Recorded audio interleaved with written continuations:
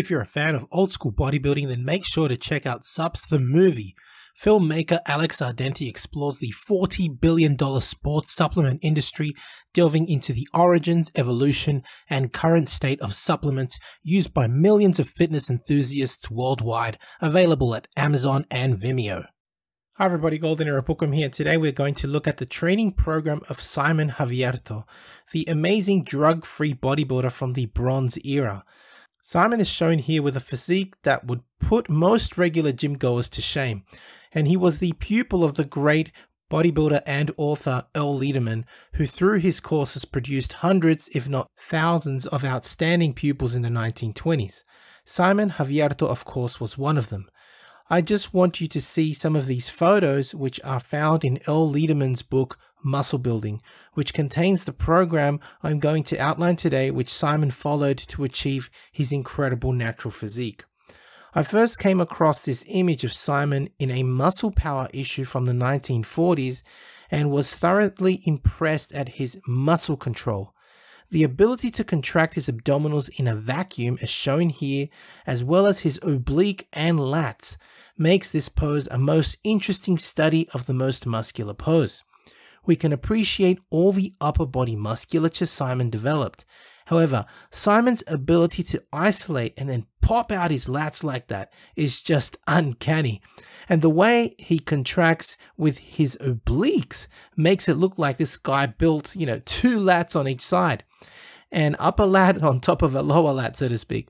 Of course, this is not the case, but both his development and muscle control is truly marvelous, and it gives this marvelous illusion, doesn't it?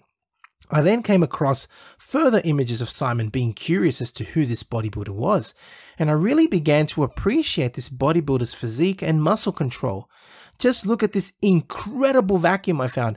Like this photo is amazing. It is deep and the serratus and intercostals are just popping out. His well-capped shoulders are very visible and he's got excellent tricep and overall development, you know, in the upper body. It's just incredible. It's very obvious how well developed he is. Um, all the muscle insertions, the separation is fantastic. As are, of course, his long sweeping lats, which are very visible in this pose as well. Looking at his back now and triceps development in this other image, we can appreciate how thick his back was, well developed, and, and also his triceps are very, very well developed. They're just popping out. Even his neck was well developed. Of course, we are not talking about a bodybuilder here with unhealthy low body fat levels either, or overly developed, grotesque looking muscles. Simon was the kind of natural bodybuilder that represented function, health, and strength, packaged in a beautiful physique that most even today would admire and even envy. Looking at Simon's training routine, it was simply the routine that Earle Liederman recommended for his students, which I featured recently in the Bronze Era Bodybuilding Method video I made and is listed here.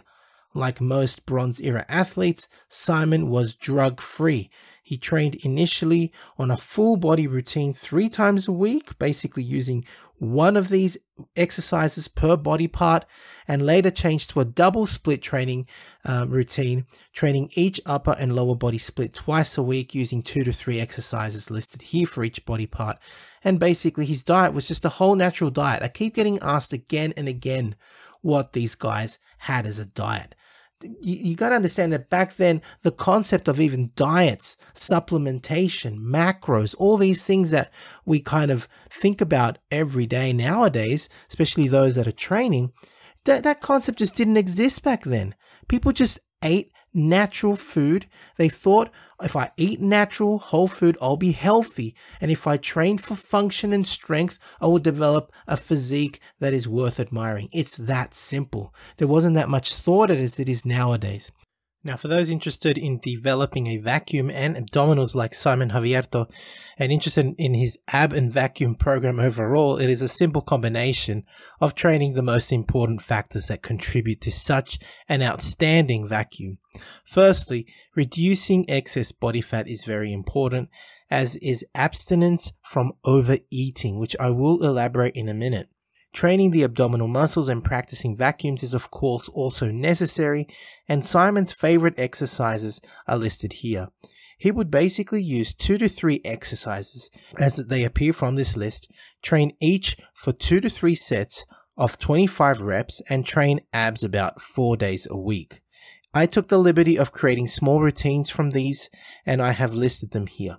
Of course, vacuums should be trained on an empty stomach, ideally in the morning, performing up to 10 repetitions, each for 5 to 10 second holds. Time was also taken to practice muscle control, which obviously Simon mastered, which allowed such wonderful display of his musculature. Regarding eating habits again, it is important to note that Bronze Era athletes were not also in the habit of overeating. I get asked again and again, why is it that these guys had, had such low percentage body fat? Well, they did not overeat and in doing so they kept low they kept their low body fat levels. They ate for function and only until satisfied but not full. This kind of restraint along with practicing of course vacuums and muscle control to control hunger was resonated by golden era bodybuilders such as legendary Frank Zane as he explains clearly in his books. If you read Frank Zane's books he actually talks about when you're trying to get definition to abstain from eating too much and develop that hunger because then you will start burning excess body fat. So I do hope you have enjoyed watching this video on the Bronze Era athlete Simon Javierto and his Bronze Era bodybuilding method. If you have enjoyed watching this video, please give the video a like, subscribe to this channel, and don't forget to leave your comments in the comment section. If you're interested in learning more about the double progression system, hit me up for online coaching or check out my website for Bronze Era and Silver Era ebooks by Earle Liederman, George Hackenschmidt, Sigmund Klein, who all promoted the double progression system during the Bronze Era and of course the many muscle control books by Maxick and others, as well as Silver Era courses covering the Silver Era stars, of course, such as Steve Reeves, Park, Ida, Grimek, Goldberg, and Ross, all at www.goldenerabookworm.com. That's it from me. This is the Golden Era Bookworm saying bye for now. As a natural bodybuilder, it is imperative to know your own testosterone levels as they are a reflection of the anabolic environment created by your diet and training. I would highly recommend using the male hormone test kit from Let's Get Checked and make sure you use my code GOLDEN30 for a 30% discount. Again, the advantage of checking yourself regularly is that you will know how well your body is anabolically primed to put on the much desired muscle you are working for. Now, if you're interested in learning more about Vince Gironda's approach to bodybuilding, his principles, and all these tips of wisdom that he has, I mean, there's so much stuff that probably hasn't been proven by science, and it will take science to prove or disprove uh, Vince. But to be honest, these three books, I believe, which I call the classic physique bundle, are the best books that Vince ever came out with. And they, of course, are the Wild Physique, the Master Series, and the Pro Series. Have a look at it this way the Wild Physique, I believe, is like the ABCs of Vince Gironda's principles to bodybuilding. He teaches you the exercises and his principles. But how do you put them together? Well, the Master Series is a 14 month program of using all of these principles, all of the diets that Vince came out with, all of the exercises. And believe me, it's a brilliant, brilliant program. Many people have used it. I know, I know personally a lot of uh, bodybuilders that have actually used it and uh, made fantastic results with it. And of course, the Pro Series was a book that he came out with later on, specially targeted for uh, getting into competition. It's just these, these three books, as I call it, the classic physique bundle, uh, Vince's best work, and available, of course, at www.goldenerabookworm.com. Now, the Pro Series of Bodybuilding, which was targeted for professional bodybuilders, is a contains six programs, each of which go for two months each. So it's a whole year, uh, again, in preparation for competition. Online training is now available, including my new program, Novice to Classic, a program geared towards beginners and novices looking at developing a classic physique, as well as Classic Cut, geared at those who wish to lose weight and gain muscle fast. Details available at www.goldenerabookworm.com. Need a bodybuilding poster for your gym or office? Then check out Ironman Magazine archive.smugmug.com for the highest quality posters on the planet scroll through the galleries of all the legends, including greats such as Arnold, Frank Zane, Sergio Oliva, Serge Nubret, Tom Platz, and Larry Scott, and much, much more, and select your poster now. To support your favorite YouTube channel, please visit teespring.com slash store slash golden era bookworm for merchandise including t-shirts, hoodies, face masks, phone cases, and much, much more. Once again at teespring.com slash store slash golden era bookworm. Become a patron at www.patreon.com forward slash golden era bookworm for hard to find books, scans of rare photos, and articles on the golden era of bodybuilding. I don't think that Bill Phillips looked at it as I want to compete against them. I want to destroy them. If they pass legislation basically making any type of food supplement a prescription item, that would be the end, the death of the entire food supplement industry. In the 1960s, the sports supplement industry was barely emerging. I think the reason why Joe Weider was so successful was he had Arnold on his side. He wasn't selling supplements.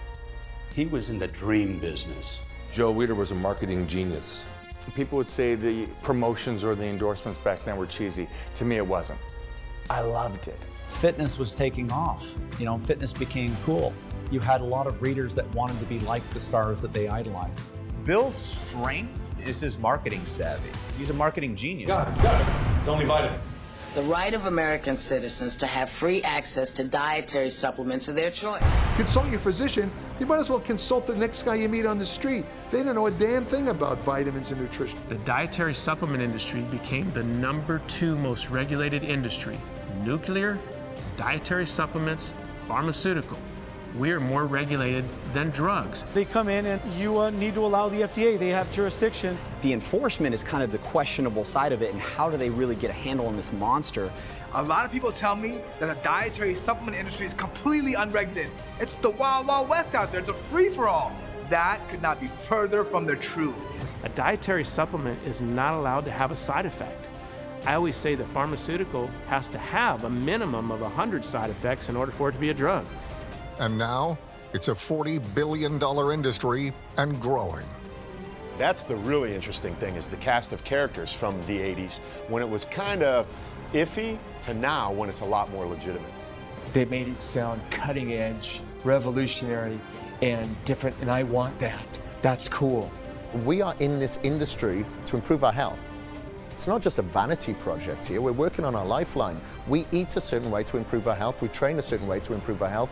Supplements are just that. They supplement your work, your graft, your nutrition. Uh, they demonize dietary supplements, but they say all you need is real food. Well, what's a real food? They pump you up and get you hard, stronger, faster, bigger. Doc, I want to take this weight gain. I want to take this pre-workout. That this, no, no way. That stuff, we don't know what's in that. It could be, no way. I'm not going to give you, it's going to kill the industry, bottom line. So I must have drank so much protein powder from age 15 to 18 that my head was going to explode. I believed in Met-Rx so much that I would probably punch somebody in the face if they tried to take it away from me.